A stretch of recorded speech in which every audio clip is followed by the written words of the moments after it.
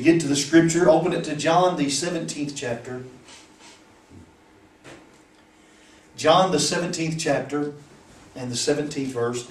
I'm actually going to read another passage of scripture to go with this before we get into the sermon.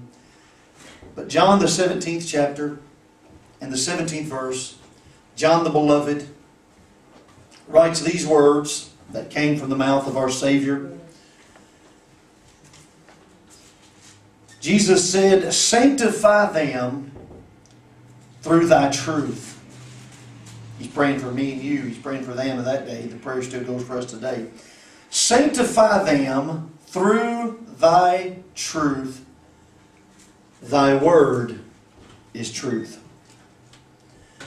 In the eighth chapter, the 31st and 32nd verse, it says, then, said Jesus to those Jews which believed on him, If you continue in my word, then are ye my disciples indeed. Verse 32 says, And ye shall know the truth, and the truth shall make you free. So the first passage of Scripture that we read says that thy word, talking about the Word of God, thy word is truth. If you wonder today what truth is, and especially in the day that we live in, it's kind of hard to nail it down or to find it. So many people today don't know how to speak the truth. They just soon lie to you than look at you. Amen. I've always understood it's not right, but it's understandable when someone gets backed into a corner and they feel the pressure on and they tell a lie. At least with our carnal mind, though it's wrong, it's not right, with our carnal mind we can understand that. But for people just to lie, one lie right after the other, just for the sake of lying, I've never understood that. And today that's what we have in our society. So if you wonder today, well, what is truth? And so many people searching for truth. This is truth. He said, Thy word is truth. He said, If you continue in my word, you are my, disciples indeed, and ye shall know the truth when? When you continue in his word. We've talked about this before. It bears enough importance this morning to talk about it again, Brother Rodney, how important the Word of God is to you. This book is not something you should leave on the pew to save your seat till you get back on Wednesday night, or Tuesday night, as it were, around here. This Word should be a part of your life every day of your life.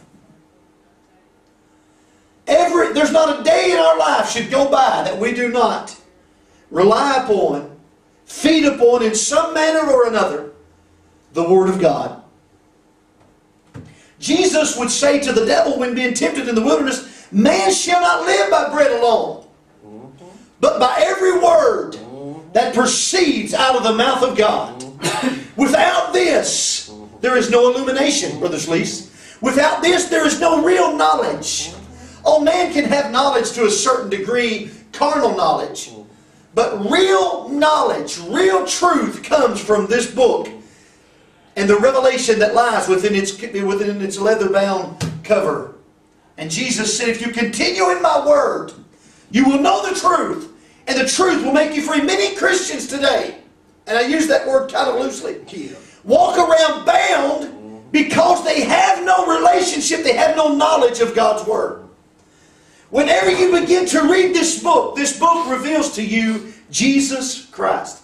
Now, I'm not talking about being able to quote it from front to back. I've met people that can quote it from front to back. But all it is is another book to them. And I say that because it has, they've allowed it to have not the impact that God wants it to have on their lives. His Word is truth. His Word is powerful, more powerful than any two-edged sword. There is never a book been written in the history of mankind, in the history of the world, that has had the impact of this book. There, there is no other book known to man that has changed as many lives as this book. And it's not the leather-bound cover. It's not the nice paper that it's printed on. It's what it reveals to mankind. From Genesis to Revelation, it reveals to us the way, the truth, and the life. It reveals to us Jesus Christ and Him crucified. The Word of God is quick, it is powerful today. This past week during our time in school, Brother Tyler was reading a book called The Tales of Persia. And this book was written by a Presbyterian missionary by the name of William Miller. In 1919, this Presbyterian missionary, William Miller, answered the Lord's call to go to Persia to be a missionary there. And Persia, now known by its ancient name, Iran. And he fell in love with the people there. And his heart was there, and his burden, the burden for their souls was there. And in his book that Brother Tyler was reading this week, Tales of Persia, he wrote of his experiences and the people that he led to the Lord. And in the book, he told of a man, and I probably won't get his name right. You probably don't know anyway because you probably never heard of him. You're going to hear about him this morning. But he told of a man by the name of Gason, who was a Muslim, Islamic in faith as most of them were in that land that he went to be the missionary for. Most of them couldn't even read. So they had no knowledge of anything other than that which the leaders told them. Whatever their spiritual leaders might have been or whoever. More educated people because most of them couldn't read. But Gason could read. And in, in order to support his family, he had a little shoe shop that he worked in every day.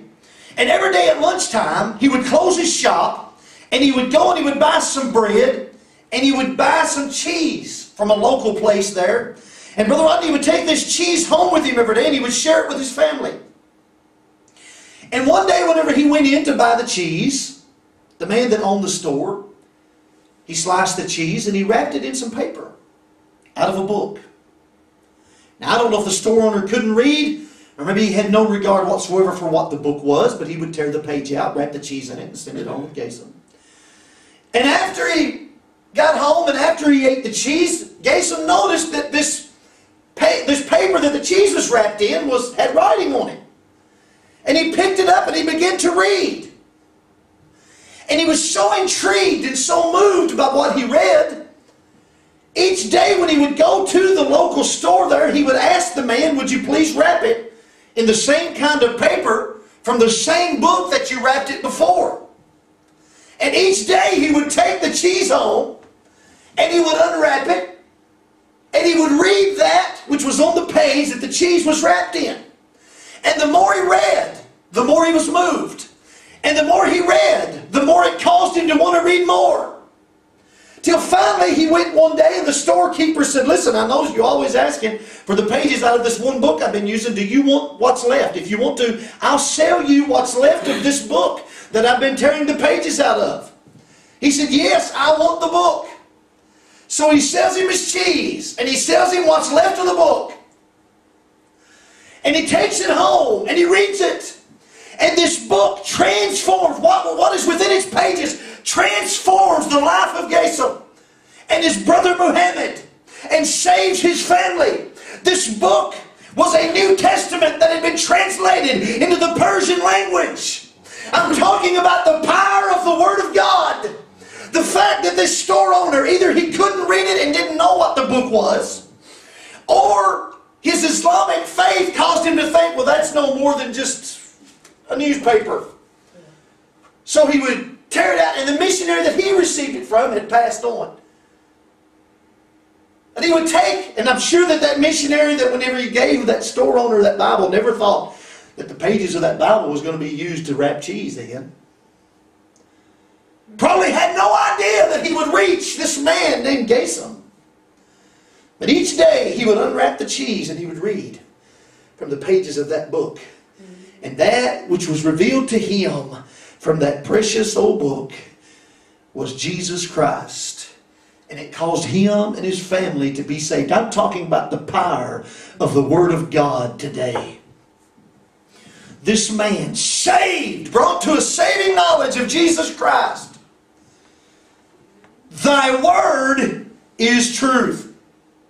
If you continue in my word, you shall know the truth, and the truth shall make you free. This man and his family, when they knew the truth, when truth was given to them, my, my, my, wrapped around a piece of cheese. That's how powerful the Word of God is. The Word of God is powerful enough to change your life. The revelation that it brings to you will change your life. This book today is truth. John, the fourth chapter, the fourth verse. Jesus speaking to the devil in the wilderness said, Man shall not live by bread alone, but by every word that proceedeth out of the mouth of God. Jesus spoke to the religious men in his day concerning the scriptures. Now, they didn't have the entirety of the book as we do, but they had the Old Testament scriptures. And he spoke to the men concerning the scriptures, Brother Sleason. He said, Search the scriptures, for in them you think you have eternal life. Now, you got to understand, these men thought the simple fact that they knew it, head knowledge, the simple fact that they knew it by heart, the Torah, as it were, the Old Testament, the writings of the prophets, whatever it was they had in order to be able to memorize it. They thought it made them more holy if they could quote more of the book. It's not, it's not having the book up here that makes you closer to God. It's having the book here that makes you closer to God. The words of God. And Jesus said, search the scriptures. That's where you believe your eternal life is at. But he didn't stop there. He said, and they are they which testify of me. Those scriptures that you boast of, that bring you righteousness, that cause you to be holy because you know. Search them, and you'll find me.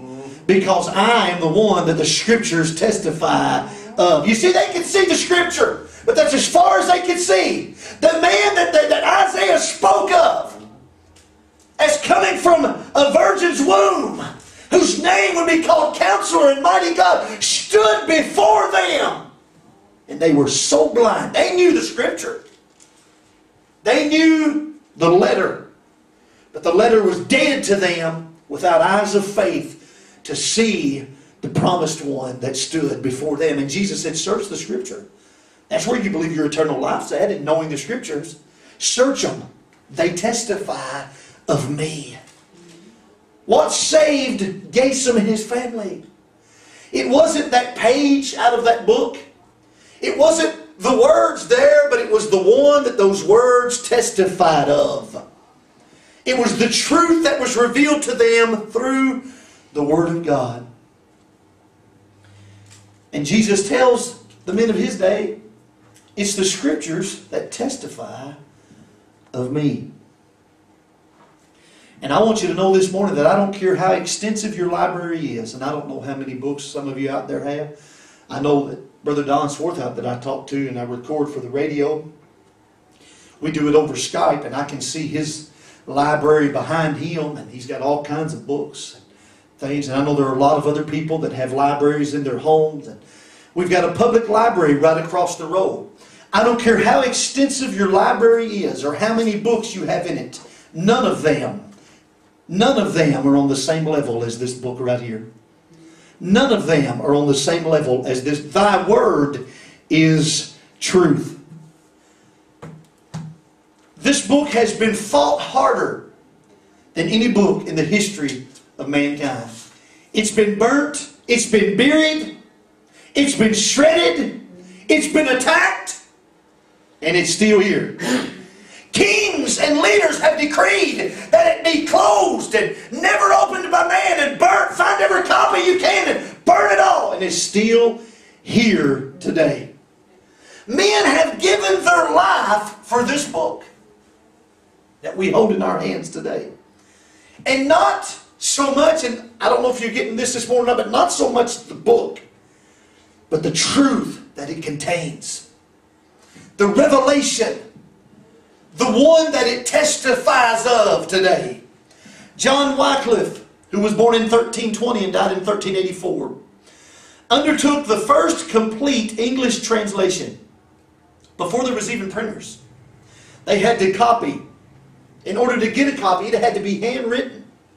That's the only way you could get a copy of it because they didn't have the printing sources to be able to print and duplicate copies in bulk. But he incited the Catholic Church so much so that they fought him while he was alive, but that ain't just that ain't the end of it. After he was dead, 30 years after he was dead, the Roman Catholic Church declared that John Wycliffe was a stiff-necked heretic. They banned any of his teachings or writings from the Roman Catholic Church, and they wrote a decree, a decree out, Brother Sleece, that all of his books that they could find were to be burnt, and that they go dig up his bones and burn his bones and scatter them in the river. 30 years after the man is dead. The fact that he wanted to get the English translation of God's Word into the hands of the common man incited the religious authorities so much so, I can see him now. Sleepless nights, worried about a dead man and the work that he had done. Amen? But it wasn't John Wycliffe that, that they feared. It wasn't William Tyndale that they feared.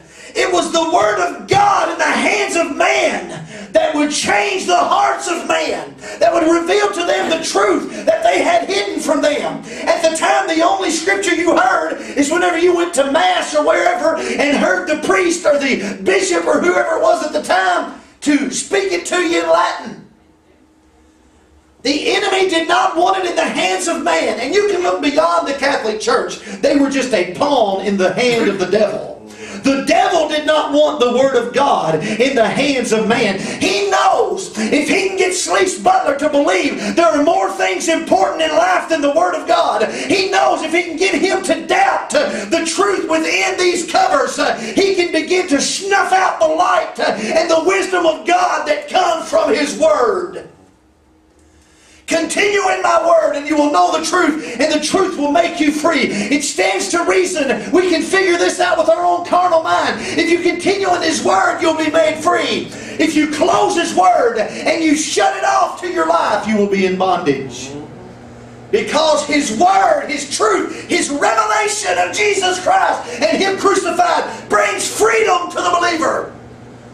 Otherwise, you spend your whole life trying to work your way to heaven. You spend your whole life trying to do it yourself mm-hmm. until you read the truth in His Word and it's revealed to you that He is the way. He is the truth, He is the light. He is the one that imputes righteousness unto man. So 30 years after Wycliffe's dead, he still troubles the Catholic Church so much that they're going to have to dig him up burn his bones and scatter them somewhere. They didn't want the English translation of the Word of God to get into the hands of the common. We've talked about William Tyndale before, but in 1525, William Tyndale would begin his work on translating the Bible into English. If you ever have the opportunity, you should read the life, the story of the life of William Tyndale. This is a man that walked away from the Catholic Church, that stood toe to, to toe with them on their doctrine and said that it was incorrect and that they were teaching the people wrong. This is the man that said, if God will allow it before I die, I'm going to make sure that the common man behind the plow has the same access to the Word of God as the Pope does. Well, you talk about inciting the anger of the religious, religious leaders of that day. He devoted his life so that you could have this book that you allow to gather dust at your home or to save your pew at the church. He gave his, in the end, he would give his life, Brother Sleece, so that we could have this. So that we would be able to understand the Word of God, be able to read it for ourselves. He would incite the anger of the Roman Catholic Church so much that he would have to go into hiding to be able to translate the Word of God. If memory serves me correct, and I may not have all the details right, but at one in one point they were rounding up all of that that he had translated. They said, "We need to get these burnt. We need to get rid of them. We need to get rid of them. We need to burn them. Get our hands on every copy." The leaders of the day even said, We'll pay for the copies. Yeah. Tell the people, we'll give you money if you bring us the copies of this heretic's work and we will burn it. We'll give you money. William Tyndale and the ones that, the few people that he had that was helping him, they ran out of money to print any more. And they were trying to figure out how they're going to raise any money. And one of them said, I've got an idea. They're offering money to burn books. Let's set up a place and tell them we've got some to sell them. So they bought them. They came, they bought them. William Tyndale and his associates took the money and printed more Bibles. they were paying top dollar. So not only were they able to replace the one that the leaders burnt, but they got enough money to replace more than the one that the leaders burnt. Anytime the devil tries to squash out the Word of God, pops up somewhere else. Whenever the leaders came down on the church in the book of Acts and they tried to shut them up, the only thing it did, and it's probably, there's no doubt probably about it, God's hand allowed it so that the church would spread out. You know, we got a lot of crazy people in America that'll go find a compound out in the field somewhere in Texas and they say, this is going to be our village. We're going to stay here. We ain't going to have no doings with the outside world. To keep the early church from getting any ideas like that, the leaders of the day came down on them hard. And when they did, they had to be dispersed. They had, they had to scatter. And when they scattered, they took the message to the four corners of the earth. It didn't no longer stay there. But when the enemy said, we'll stop them, the only thing he did was cause them to split, to spread out. And when they spread out, they took the message with them. William Tyndale would work his entire life translating once he made the decision to translate the Bible into English. His work would be the first one printed on an actual printer in 1536. Would be the first one printed on an actual printer. In 1536, he would be burnt at the stake for his work on translating the Word of God in order for the common man to be able to read God's Word. Think about that the next time you pick up your King James and you read it. Thank God for men like William Tyndale. Thank God for men like John Wycliffe. Thank God for men that had the audacity to stand toe to toe with the church of that day and say, God wants every man to have His Word, not just religious leaders, so that they can dictate the actions of others. So that they can see they would, they, they would use that to teach the people that they need to pay penance. In actuality, the Bible says you need to repent. Big difference between penance and repentance. That was only one of the truths that slapped the Catholic Church in the face that caused them to be angry enough to either to do it themselves or to incite the leaders of that day because they controlled the leaders to burn those at the stake that would have the audacity to try and put the Word of God into the hands of the common man. William Tyndale's last words, at least recorded by historians, would be a prayer that he said, God, please open the eyes of the King of England. In 1604, King James would commission the greatest scholars of that day no other scholars could hold a candle to them then. No scholars that we have today can hold a candle to them either. He commissioned them to begin work on the King James Version to be translated into, for the scripture to be translated into English, which we later, we now know today as the King James Version. Seven years later, God's Word would be published in the authoritative version, the authorized version of the King James. This book that we hold in our hand today is a blood-stained book. Mm-hmm. It was not an easy trail to get it from where it was at to your hands today. The devil tried to stop it. The leaders tried to stop it. The church mm-hmm. of that day tried to stop it. Mm-hmm. But God's word has prevailed. Mm-hmm. It has been preserved. That's why I don't get so worried whenever people say, well, ain't going to be around much longer. They said that 20 years ago. They said, in 20 years from now, you won't be able to find a King James anywhere. Look what I got this morning. Amen. Why? Because God has promised to preserve it. From generation to generation, God has promised to preserve His Word. This book today his word is a lamp unto our feet. It is a light unto our path. Without His word, we will have darkness. Without His word, we will have no truth because His word is truth. And I get tickled at these scientists who say, yeah, but the world has to be millions and millions. Some of them, I guess they say billions now. They have to be billions of years old because we found this layer and that layer and this layer. And each one of these layers represents so many billions of years and so many millions of years. Let me give you a little bit of knowledge this morning from a redneck preacher from the hills of Kentucky who don't know a whole lot, but I know this much. If your knowledge leads you to believe something that opposes or goes against this book, guess whose knowledge is wrong? Amen? Not the book.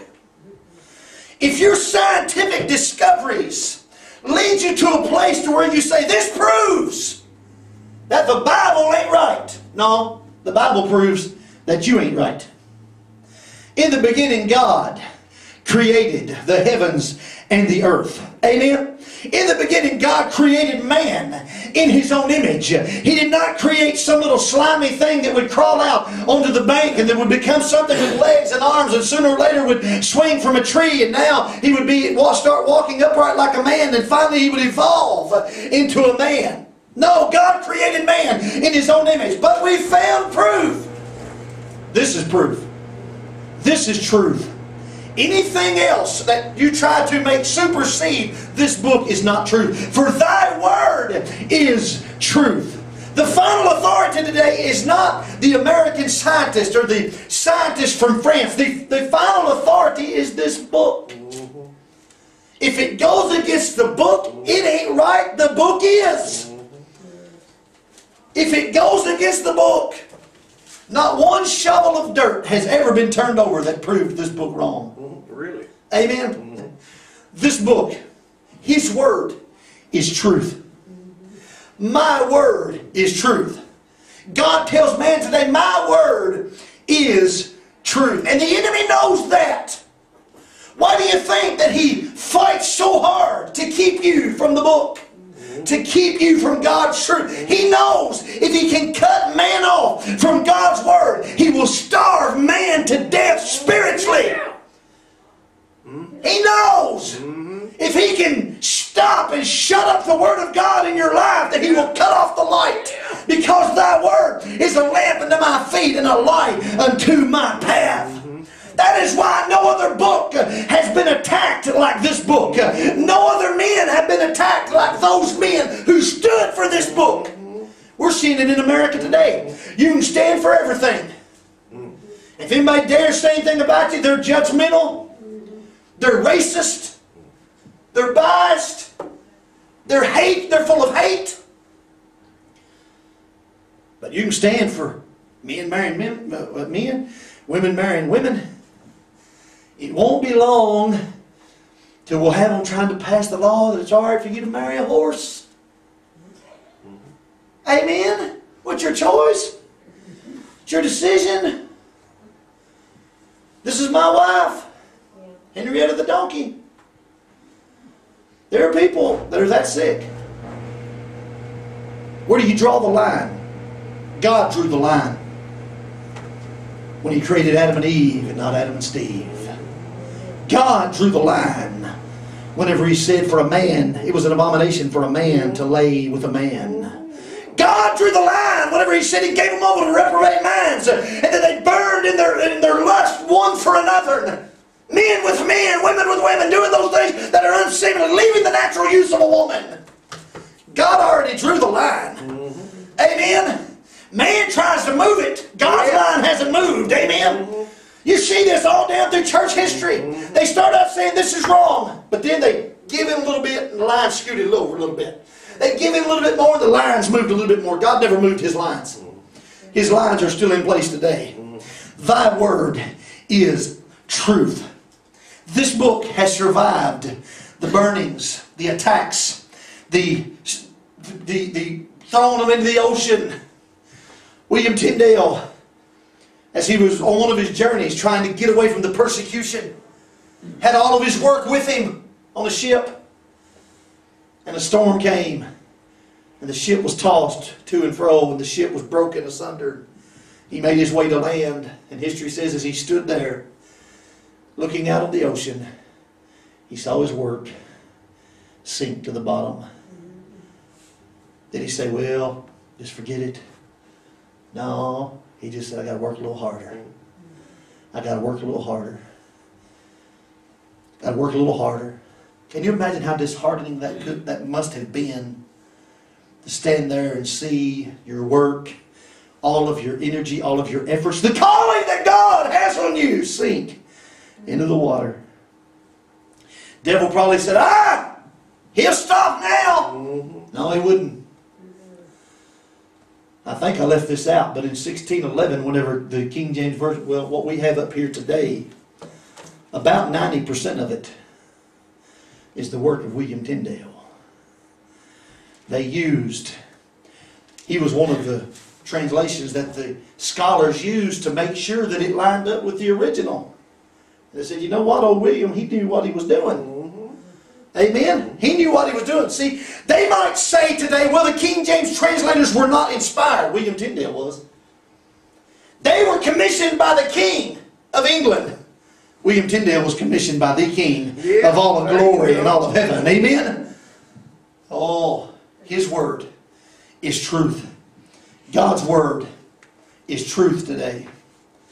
And I can't stress it to you enough how important it is that these that this book, that this truth, that this Bible is a part not of just your life on Sunday mornings, but your everyday life. Because in the world that we live in, if you don't know the truth, you're fixing to be deceived. Mm-hmm. Yeah. Every day, it's nothing for every day for me to read some off the wall, weird doctrine that man has came up with. Yeah. And if I didn't know the book, yeah.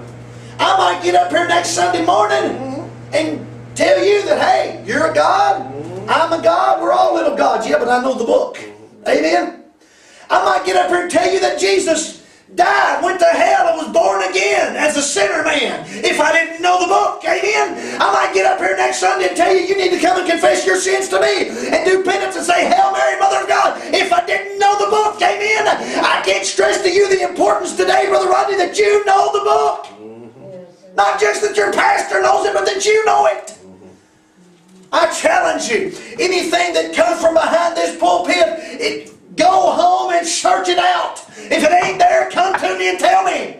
We'll discuss it. We'll say, hey, maybe I missed it. Maybe you just ain't seen it. Mm-hmm. Amen.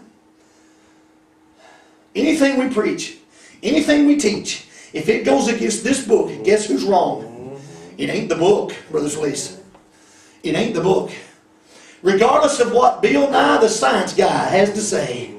No matter how smart he is, what layer he has, what fossil he found, if it goes against the book, guess who's wrong? It ain't God.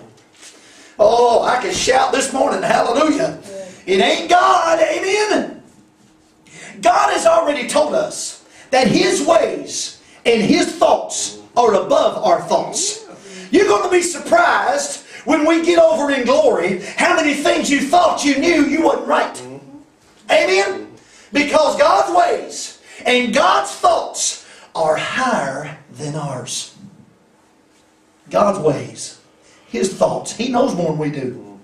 Amen? So if you have trouble with the seven days of creation, if you have trouble with Noah's Ark, if you have trouble with the age of the world, and if you say, yeah, but I think, yeah, but God says this. And if what you think and what God says don't line up, who do you think's wrong? It ain't God. Amen? I'm trying to hurry. It ain't God. I'm trying to stress to you, and I know I'm, it's a feeble effort, and I'm, I'm not a very good preacher, but I'm trying to stress to you today the importance of the Word of God in your life. His word is truth. And he told us that if we continue in his word, we would know the truth. Not if we continue in the bestseller on the New York Times selling list today, but if we would continue in his word, we would know the truth. And the truth will make us free. Heaven and earth shall pass away, but my words shall not pass away. Isaiah would write these words that God spoke to him For my thoughts are not your thoughts, neither are your ways my ways, saith the Lord. For as the heavens are higher than the earth, so are my ways higher than your ways, and my thoughts than your thoughts. So when your thoughts don't line up with God's, you're wrong. God ain't. Amen. Do you see that this morning? If you go down two verses, he says, So shall my word be that goeth forth out of my mouth. It shall not return unto me void, but it shall accomplish that which I please, and it shall prosper in the thing whereto I send it. God has preserved his word. And if Brother Rodney decides that he don't believe something in the book, the book ain't wrong, Brother Rodney is. Thy word is truth. Not man's word. Thy word is truth. If scientists tell you we can prove, well, if it goes against this, I can prove you're wrong. Because if God said it, that settles it. I don't care if you believe it or not. It doesn't matter if I believe it or not. If God settles it, that if God said it, that settles it. Amen. It is written in something stronger than stone, never to be removed. He promised us in Psalms, the 12th chapter, and I'm trying to close. Psalms 12 and 6 and 7 says, The words of the Lord are pure words, as silver tried in a furnace of fire, a furnace of earth, I'm sorry, purified seven times. Thou shalt keep them, O Lord. Thou shalt preserve them from this generation forever. Do you hear that? That lets me know that as long as there is, not even just in this life, not even just in this world as we see it, but forever. How long is forever? Forever is forever. There's no time limit set on that. His word He has preserved. He will keep it forever. In the beginning was the Word, and the Word was with God, and the Word was God. The same was in the beginning with God. All things were made by Him, and without Him was not anything made that was made. In Him was the life, and the life was the light of men. And the light shineth in the darkness, and the darkness comprehended it not. Verse 14, the book of John, the first chapter says, The Word became flesh and dwelt among us. Knowing today that His Word is the absolute authority and truth on everything, it reveals to us even more the words of Jesus when He said, If you continue in my words, if you continue in my word, you shall know the truth, and the truth shall make you free. How important is it today to make sure that what we teach and that our doctrine lines up with God's Word? It's so important that the Apostle Paul wrote If an angel from heaven comes to you and tells you anything else, let him be accursed. If I come to you and teach you anything else, let him be accursed. I don't know about most of, but I would say the majority of false religions today were started by a man who claimed he had a visitation from an angel. Listen to me. Unless I'm mistaken, Muhammad's was that way. was visited by an angel. Maybe even Joseph Smith, the Mormon guy. But many religions today, because an angel visited a man and told him something, there are fallen angels. Mm-hmm. There are hell's angels. They don't ride motorcycles. Mm-hmm. Amen. If an angel from heaven comes and tells you anything different than this book, guess who's wrong? The angel. If a man comes and tells you anything other than this book, guess who's wrong? The man, not God. His word is forever settled in heaven, Brother Slees. And it's important for you to have His Word here. David said, Thy Word have I hid in my heart, that I might not sin against you. The Bible teaches us to have it written on the tables of our heart today. Thy Word is truth. His Word supersedes everything else. If it goes against, and we know this, I've told whenever we talked about the dreams of some of the preachers and their teachings and their doctrines, we always compare it not to our denominational headquarters and what we teach uh, within our denomination because we're not part of a denomination. we always compare it to this book. And if it doesn't line up with this book, guess who's wrong? Not the book. If you're teaching, I'm not going to defend these false teachers to you. I'm going to tell you it ain't in the book. It ain't in the I've got I've got Christians that are no longer friends with me because I had the audacity to quote their favorite preacher and say that ain't in the book. That's right. If it ain't in the book, see his word is truth. If it line, if it does not line up, I've heard preachers say, "Well, you can't find this in the Bible. You have to get this by personal revelation." If your personal revelation, I don't care if you heard the thunder, I don't care if you saw it lightning, I don't care if you heard a thundering voice booming into your ears. If it goes against the book, it was not God. This is truth, and anything that goes against it is not. When the disciples came to Jesus and said, "What shall the sign?" Of the end of your end of the end to be, the sign of your coming. He said, Take heed that no man deceive you. He went on to tell the other signs, but that's the first sign that he said. Without the knowledge of the Word of God today, you can be deceived. But if you know the book, when they come around spewing their foolish stuff that they spew today, you can say, wait a minute, that don't line up with the book. I'm convinced today that there would not be a mega church left in America if the people in the pews knew what the book said and realized what their preacher was preaching wasn't in it. Mhm. Right. They'd get up and walk out. Mhm.